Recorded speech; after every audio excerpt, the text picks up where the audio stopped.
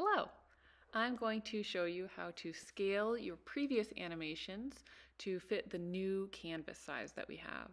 So here I'm in the project vault, I'm going to pick a flipbookish and get in there and I see that my animation is up in this upper left corner but I want to move it so I'm going to grab the select tool and drag over the whole animation or the whole drawing and use that corner to make it bigger and then place it where I want it to go.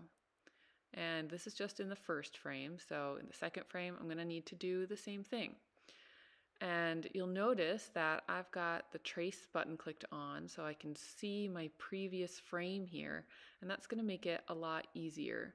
So when I use the select tool and I change the size, I can compare it to the previous frame and I can try to make her the same size and then I can line her up.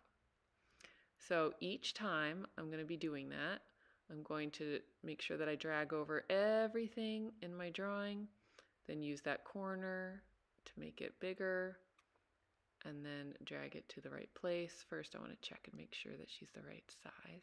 Looks pretty good. And then here in my fourth frame, same thing each time I can use that onion skin to check to see if I like the size and compare it so it looks consistent throughout and then I can place it where I want it to go. And so now I've got that same animation, but it's a little bit bigger. It fits on this canvas, so I can add more to it if I want, or if I export it, it will be at its largest possible size. Now, I might also want to do this in Advanced-ish, and that could get a little tricky if you have a background. So here I have clicked into the background frame, and I'm just going to do the same thing. Take that select tool, drag the corner, and then place it where I want it to go. Now these are all added exposures. I only need to do this where it's a new frame. So I'll only have to do it a couple of times here because I've got some added exposures.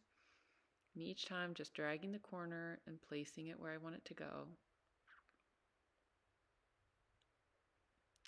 And so now I've finished the background and I'm going to go to the foreground layer.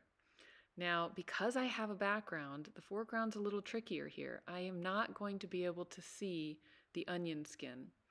So when I drag over this and make it larger by dragging the corner, I'm not going to be able to see the placement as compared to the previous frame without just clicking to the previous frame quickly. And so each time I'm going to make it a little larger, I'm going to place it, and then I'm going to check and make sure that it's the right size and the right position compared to the previous frame by clicking on that previous frame and just looking. That looks pretty good. Oh, well, it looks a little small there. So I'm going to make it a little bit larger, move it down, and that looks better.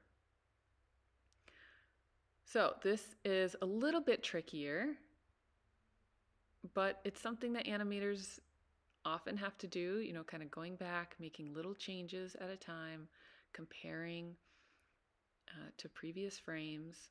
And because this background is very simple, I could instead decide just to delete the background and use that onion skin feature to uh, fix the foreground. And then I can go back and add the background. You might not want to do that if you've put a lot of stuff in the background or if there's a lot of movement in the background. If you have a, a very detailed background that doesn't move, you might want to delete all but one frame and then later go back and add the exposure.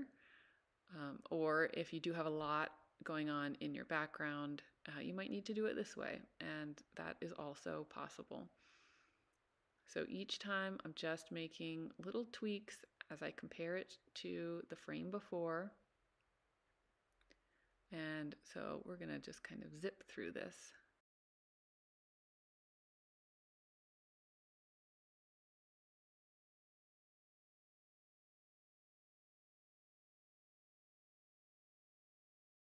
And so now I've got my animation and it fills up the screen And the benefit of this is that when I export, it's going to be a higher resolution, it's going to look better, and um, I've got this nice big canvas that I can work on now for any changes in the future.